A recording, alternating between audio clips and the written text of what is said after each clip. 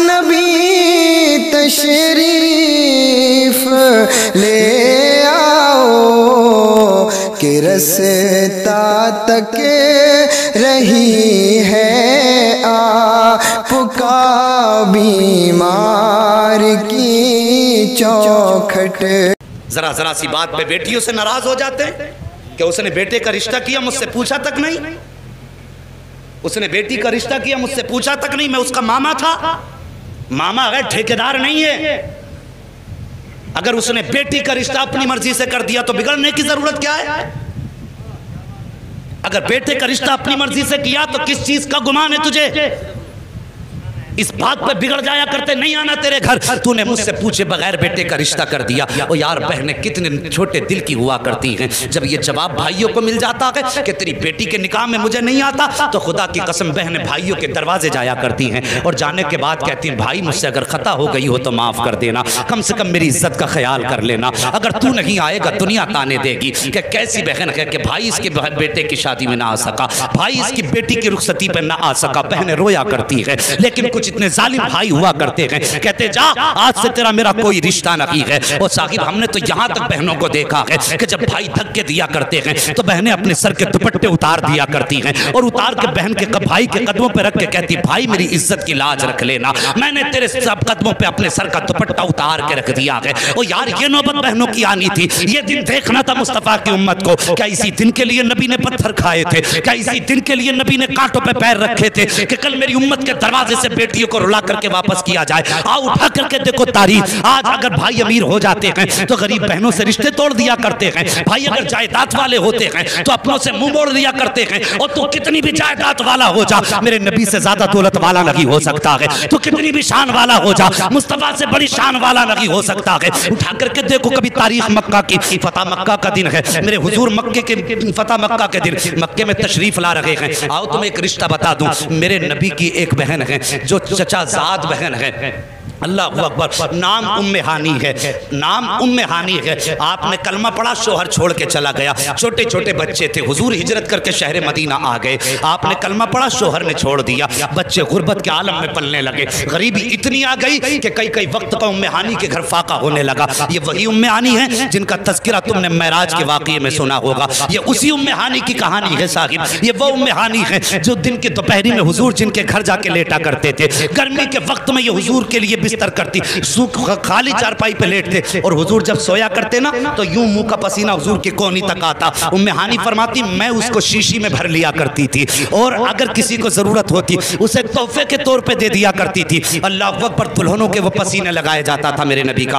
अब जरा तवज्जो करना प्यारे। मेरे हुजूर मुझे फतेह मक्का के वक्त तशरीफ़ लाए हैं। जब फतेह मक्का के वक्त आए ना ये वही मक्का है जहाँ पे लोगों ने पत्थर मारे थे। ये वही मक्का है जहाँ पर मुस्तफ़ा के नाम लेने वालों को सताया गया। ये वही मक्का है जहाँ पर कलमा पढ़ने की बड़ी बड़ी कीमतें अदा की गई हैं। उसी मक्के में जब हजूर ने फाते बन के कदम रखा है हुजूर ने फाते बन के मक्के में जब कदम रखा है तो सोलह हज़ार सहाबा कराम का लश्कर साथ था, एक रिवायत के मुताबिक। सोलह हज़ार तलवारें थी। अगर चाहते तो आज मक्के की ईंट से ईंट बजा देते, लेकिन मेरे हुजूर की शान से आए हैं। गर्दन झुकी है हुजूर की। आज जरा सी धनिया क्या बन जाता है? फिर किसी को देखने के लिए तैयार तक नहीं होता। कहता, मैं उसे यूँ मसल दूँगा, उसे चुटकियों में मसल दूँगा। तेरे बाजुओं में कुछ ताकत तक नहीं आई है, और तू चुटकियों में मसलने की बात करता है। उस ताकतवर वाले के, ताकत वाले के बारे में क्या ख्याल है तेरा, जिसके साथ सोलह हज़ार तलवारें हैं। पूरी खुदाई जिसके इशारे की मुंतजिर है। अगर इशारा करते तो पहाड़ पलट दे। अगर कहते तो ज़मीन फाड़ दे। उस ताकतवर वाले वाले में, तेरे बारे में, उसके बारे में क्या गुमान है तेरा?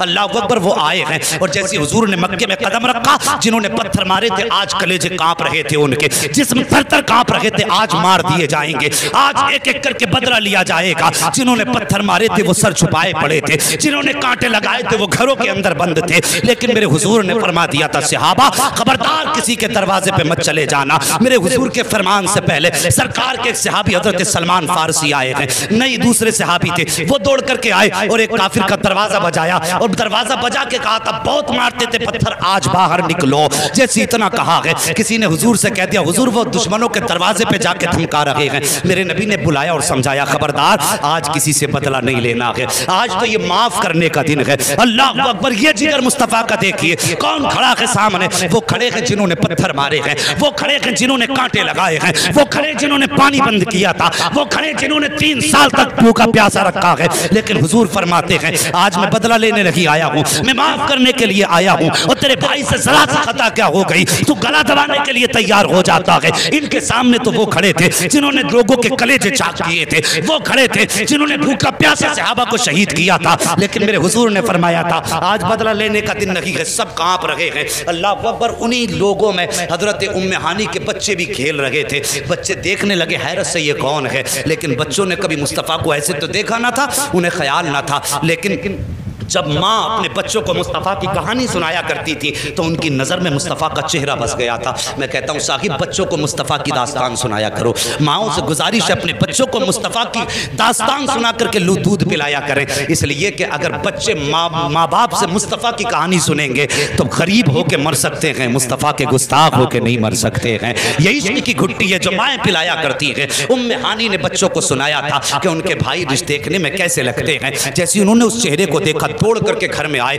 उम्मे हानी फरमाती, मैं घर के अंदर थी। अब बहन का रिश्ता देखो और अमीरों अगर बहन से गुर्बत की वजह से मुँह मोड़ते हो, हैरत होती है कि लोग बहन के दरवाजे पे जाते हैं तो जाकर पहले चादर झाड़ा करते हैं। क्या दिखाना चाहता? क्या कि इसकी चादर गंदी है? तेरे कपड़े इसकी चादर से अच्छे हैं? अगर बहनें बर्तन दे दे तो कहते, एक बार और पानी निकाल दे। किस लिए? कि ये गरीब का बर्तन है। ये दिखाना चाहता है कि तुझे गर्दा लग रहा है बर्तन। और मेहरबानी कर, बहनों के दस्तरखान पे जाने के बाद अमीरी गरीबी का फ़र्क दरवाजे पे छोड़ दिया कर। अगर बीमारी के बर्तन में भी खा लेगा। अल्लाह तेरे दिल के हुनर को देख के तुझे शिफा कामिला फरमा देगा। ये दीवारियाँ, ये दूरियाँ, ये इख्तलाफ अपनों और के बीच में मेहरबानी करो, कभी अपनों को छोटा होने का एहसास मत दिलाओ। कभी अपनों को छोटा होने का एहसास मत दिलाओ। और रिश्तों की कदर करो, अपनों की कदर कर लो। बड़े कीमती होते हैं, अपने बड़े कीमती होते हैं। इनकी कीमत तब पता चलती है जब इनका जनाजा उठ जाता है कि हमने कितनी कीमती चीज़ खो दी है। मेहरबानी करना, अपनों की कदर करना, बहन के दरवाजे पे जाओ। कभी तेरे कपड़े एक जोड़ी मैले हो गए तो क्या हुआ? कम से कम बहन का दिल तो टूटने से बच जाएगा। अगर तूने एक वक्त अगर गंदी प्लेट में खाना खा लिया तो मर नहीं जाएगा तू। बहन की दिल जोई के लिए उस गंदे बर्तन में खा ले, जिसे तू गंदा समझ रहा है। खुदा की कसम तेरी उम्र बढ़ा दी जाएगी। मगर करके तो देख, हमने फासले कर दिए। रिश्तों में इतने बड़े फ़र्क कर डाले हमने। आज गरीब अमीर को देखने तैयार नहीं, अमीर गरीब को देखने। माहौल उल्टा पुल्टा हो गया सब। मेहरबानी करो। बहनों से खास करके रिश्ते सच्चे रखो। मेरे हुजूर को जब बच्चों ने देखा, उम्मे हानि फरमाती, मैं घर के अंदर थी। तवज्जो है ना? अभी थके तो नहीं है? अल्लाह सलामत रखे, जरा सारे कहते हैं, या रसूल अल्लाह वल्लाह, वो सुन लेंगे, फरियाद को पहुँचेंगे। कभी रस्मन नबी को ना पुकारा करो। यहाँ से पुकारा करो, यहाँ से। जब भी आवाज़ दिया करो ना, दिल से दिया करो। फिर देखो, खुदा की कसम, लहजा भी मीठा होगा, जबान भी मीठी हो जाएगी। मोहब्बत से कहो, या रसूल अल्लाह अल्लाह सलामत रखे। उम्मे हानि फरमाती, मैं घर के अंदर थी, मेरे बच्चे दौड़े दौड़े आए। आके कहने लगी, माँ, आज हमने उस चेहरे को देखा है, जिसकी तू कहानियाँ सुना के रातों को सुलाया करती है। क्या बात कही बच्चों ने, अम्मा? आज हमने उस चेहरे को देखा है तो जिसकी कहानी सुना के रात को सुलाया करती है माँ उठते बैठते तू जिसकी बातें करती, आज हमने उस चेहरे को देखा है। माँ ने कहा बेटे, क्या कह रहे हो? कहा हाँ माँ, हमने उस चेहरे को देखा जिसे तू अपना भाई कहा करती है। इतना सुना माँ कहने लगी, क्या तुमने मोहम्मद रसूलुल्लाह को देखा है? बच्चे कहते हाँ माँ, तेरे सर की कसम, हमने उन्हीं को देखा है। कहा, क्या कह रहे हो? कहा हाँ। कहा अच्छा सच बता रहे हो? कहा, माँ, हमारी आँखें धोखा नहीं खा सकती। जो तस्वीर तूने बयान की थी, हमने आँखों से वो तस्वीर देखी है। माँ कहती है, फिर इतने में शोर हो गया कि हुजूर आए हैं मक्के में फाते बन के हुजूर आए मक्के में फाते बन के उम्मे हानी फरमाती, में अपने घर में थी। मेरे बच्चे आए, आके कहने लगे, माँ, वो तू कहती, पहले हमारे घर आया करते थे, लेकिन अब तो वो मक्के के फाते बन के आए हैं। सरदार बन गए हैं मक्के के। ए माँ, क्या आज उन्हें बहन का रिश्ता याद रह जाएगा? ए माँ, तू तो बड़ी गरीब है। क्या आज वो अमीर भाई तेरे दरवाजे पे आएगा? उम्मे हानी फरमाते, ये सवाल मेरे बच्चों ने किया। उस वक्त मेरी आवाज़ गले में दब के रह गई थी। मैं हैरत में थी और सोच रही थी, अगर हाँ कहती हूँ, ना आए तो बच्चों को क्या जवाब दूँगी? और अगर ना कहती हूँ आगे तो बच्चों को क्या जवाब दूँगी?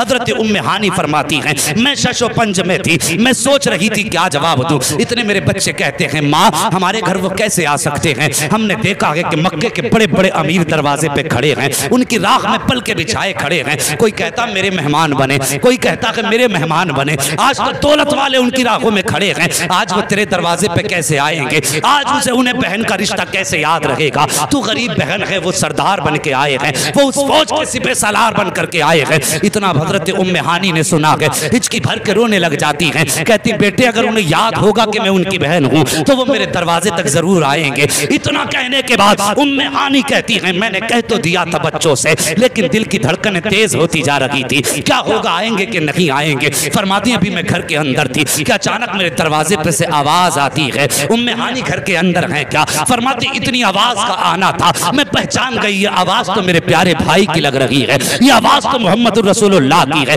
फरमाती है इससे पहले कि मैं दरवाजे तक जाती, मेरे बच्चों ने छलांग लगाई, तोड़ के दरवाज़ा खोला तो क्या देखती है? दरवाज़ा उनमें आनी का है और चौखट पे आज नबूवत का चाँद जलवगर हो गया है। आज रिसालत का सूरज चमक रहा है। फरमाती, मेरे बच्चे दौड़े, किसी ने कदम पकड़े, किसी ने दामन पकड़े। वो फरमाती, मैं तो देखती रह गई। बस इस हाल में थी कि चेहरे पर नज़र पड़ी और थक गई, देखती रही। हुजूर ने फरमाया, उम्मे हानी, क्या देखती रहोगी या अंदर आने की भी इजाज़त दोगी? अल्लाह अकबर, ये रिश्ते हैं बहन से, क्या अंदर आने की भी इजाज़त दोगी? उम्मे हानी फरमाती, मैंने कहा, हुजूर, तशरीफ़ लाइए आका तशरीफ़ लाए, उम्मे हानी का हाल सुनिए। फरमाती, मेरे घर के अंदर आज कोई चारपाई न थी, जब से शोहर ने साथ छोड़ा था, बिछोना ज़मीन पे हो गया था कई कई दिन के फाके हो जाते थे। फरमाती, हुजूर आए, मेरे घर में एक चटाई पड़ी हुई थी, मैंने हुजूर के लिए वो चटाई बिछाई। हुजूर उसी चटाई पे बैठ गए और बहन के बिस्तर पे बैठने से पहले कपड़े साफ़ करने वालों, मुस्तफ़ा के इस बैठने को भी देख लेना। फरमाती, सरकार आए उसी चटाई पे आकर के बैठ गए। हुजूर ने चादर नहीं बिछाई है,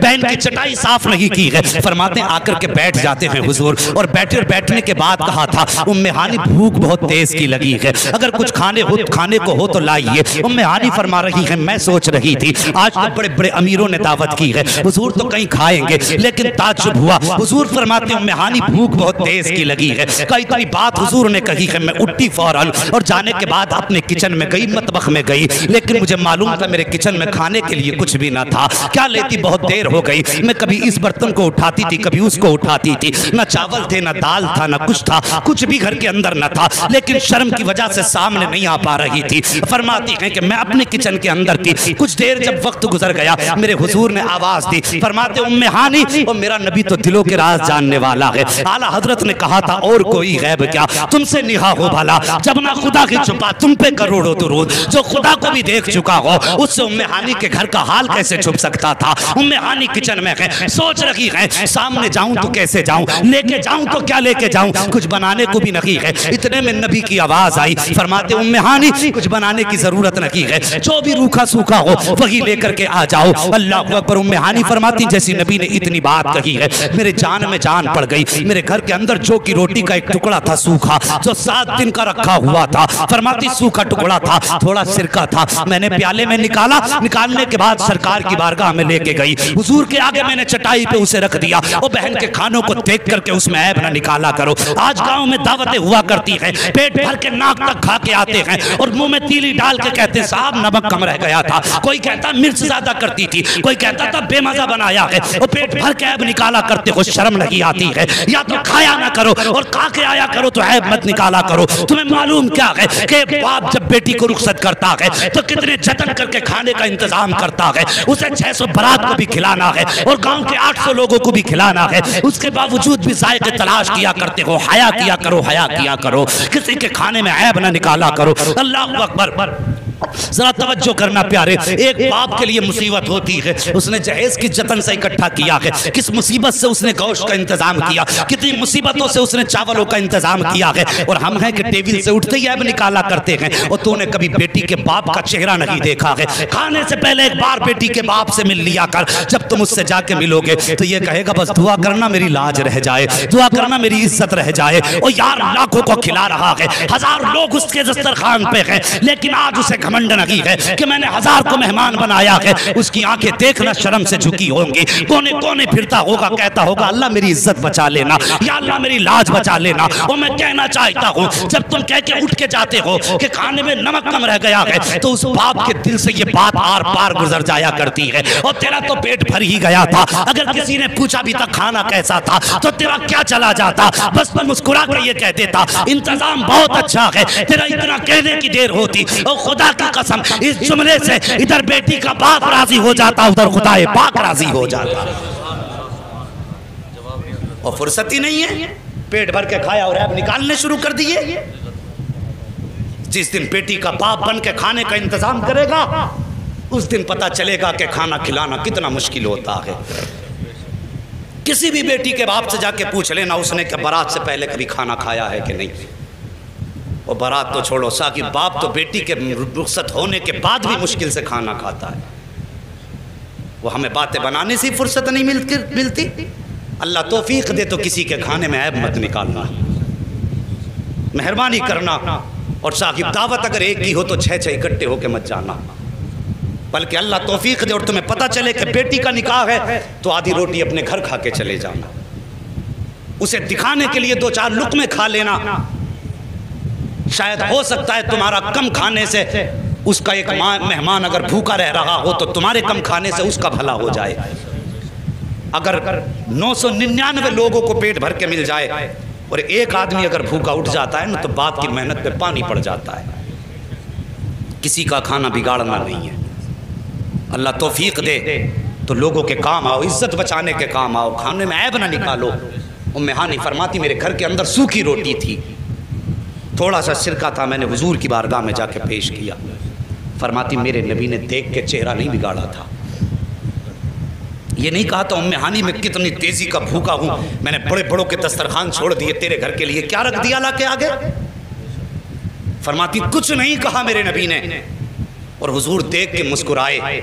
उम्मेहानी फरमाती, हुजूर ने लुकमा तोड़ा, तोड़ने के बाद सिरके में भिगोया और भिगोने के बाद हुजूर ने मुस्कुराते हुए मुँह में रखा, लेकिन इतना सख्त था वो टुकड़ा। मैं देख रही थी कि नबुवत वाले मुँह में तकलीफ़ हो रही है चबाते हुए, लेकिन नबी ने चेहरे का जोग्राफिया नहीं बदला था, तेवर नहीं बदले थे। हुजूर मुस्कुराते जाते थे, चबाते जाते थे। उम्मे हानी फरमाती हैं कि मेरे हुजूर ने जब तक वो टुकड़े खाया ना, सूखा हुआ टुकड़ा, मुस्कुराते जाते थे, पानी के ज़रिए उस टुकड़े को नीचे उतारते जाते थे। लेकिन कोई शिकवा बहन के दस्तरखान पे नहीं किया था। फरमाती, मैं तो शर्म से पानी पानी हो रही थी। मैं सोच रही थी कि आज भाई को खिलाने के लिए दस्तरखान पे सूखे टुकड़े हैं। अल्लाह अकबर फरमाती हैं, लेकिन मैंने नबी को देखा, चेहरा बिगाड़ के नहीं देखा था, मुँह बिगाड़ के नहीं देखा था, माथे पे कोई लकीर ना थी हुजूर के, बल्कि मुस्कुराते रहे। और फरमाती है, करम बालाए करम ये कि जब खा चुके थे, उसके बाद हाथ उठा के कहा था, या अल्लाह, तेरा शुक्र है, जिसने मोहम्मद के पेट भरने का इंतज़ाम किया और फिर मेरी तरफ़ देखा देखा मुस्कुरा के मेरे सर पे हाथ रखा और कहा कि खुशियाँ मुबारक हो। आज मोहम्मद तेरे दस्तरखान पे आया है और मैं आज बहुत खुश हूँ कि जो रोटी मैंने आज से बरसों पहले खाई थी, आज बरसों के बाद तेरे दस्तरखान पे खाई। फरमाया, मुझे आज तेरे दस्तरखान पे रोटी में मज़ा आ गया। सूखी रोटी खा के कहा था, बहन, आज तेरे दस्तरखान की रोटी में परसों साल परसों पुराना जायका मिल गया है मुझे। वो यार, ऐसे निभाई जाती हैं बहनें। ऐसे निभाए जाते हैं रिश्ते। अल्लाह तोफीक दे इन रिश्तों की कदर कर लेना।